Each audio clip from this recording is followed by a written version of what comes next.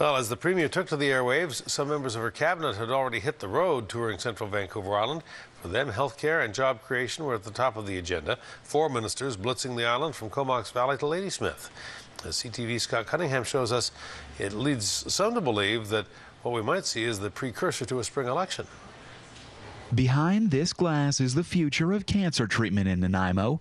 Today, four Liberal cabinet ministers celebrated the completion of a $1.8 million upgrade to the city's cancer clinic, including a new pharmacy and there was little confusion about who was behind the achievement. It's gotten so much better in the last 11 years. Well, who's been in power the last 11 years?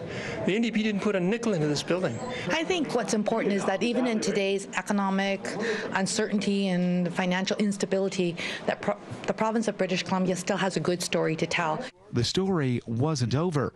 Next, the ministers descended on the Saltair Mill in Ladysmith. Like many in BC, closures have loomed large.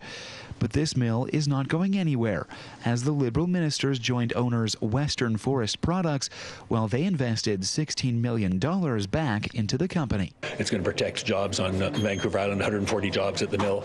It's going to increase mill pr productivity by 15%. From success stories at island hospitals to job creation at mills, today's tour has a very good news feel, but the NDP say it was all about timing. Well, the BC Liberals are out and about on Vancouver Island because they know they're in serious political trouble. The opposition are questioning the timing of the island tour, saying warm and fuzzy photo opportunities are falling in a place where liberal red is scarce. And also, after polls are showing the party is lagging behind the NDP. The good news announcements, I suspect, are largely re-announcements of previous announcements, uh, minor good news stories. I think it shows how desperate the government is. You know, everyone can speculate uh, when polling numbers come out, uh, and you've heard the cliche cliche. The only poll that really counts is the one on election day, and, and that really is true.